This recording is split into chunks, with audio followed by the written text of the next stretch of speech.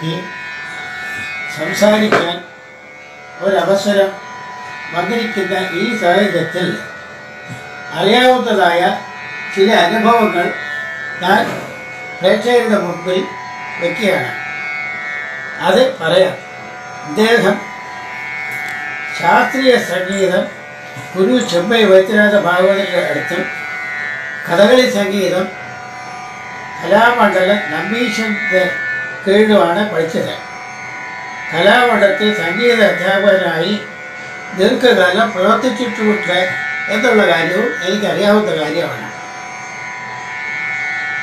ഭാരതത്തിലും വിദേശത്തിലും ധാരാളം പരിപാടികൾ അവതരിപ്പിച്ചിട്ടുള്ള ഒരു വ്യക്തിയുമാണ്. രാമൻകുട്ടി വാര്യർ കലാലോകത്തോട് വിട പറഞ്ഞിട്ട് ഇരുപത്തൊമ്പത് വർഷം തികയുകയാണ് എന്നുള്ളത് എല്ലാവർക്കും അറിയാവുന്ന കാര്യമാണല്ലോ.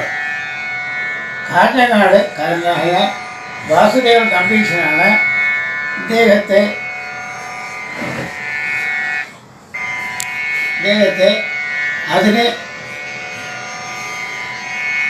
ഇദ്ദേഹത്തെ അനുസ്മരണവും ഫേസ്ബുക്ക് കൂട്ടായ്മയും ആരംഭിച്ചത് കുടിവെള്ള കലാ കഴിവുള്ള കലാകാരന്മാരെ ജീവിച്ചിരിക്കുന്ന സമയത്ത് അവർക്ക് അർഹമായ പ്രോത്സാഹനം നൽകേണ്ടത് സർക്കാരും ജനങ്ങളുമാണ്. ഞാൻ സമീപകാലത്ത്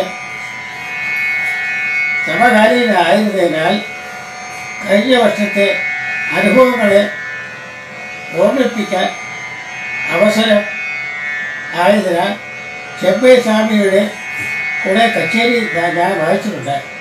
അതുകൊണ്ട് അദ്ദേഹം ആ സമയത്ത് ചെമ്പൈ സ്വാമികളോട് പാടിയതായ ഓർമ്മയും ഉണ്ട്. എല്ലാ ഫേസ്ബുക്ക് പ്രേക്ഷകർക്കും എന്റെ അഭിവാദനവും നന്ദിയും ഞാൻ പ്രത്യേകം രേഖപ്പെടുത്തിക്കൊള്ളുന്നു.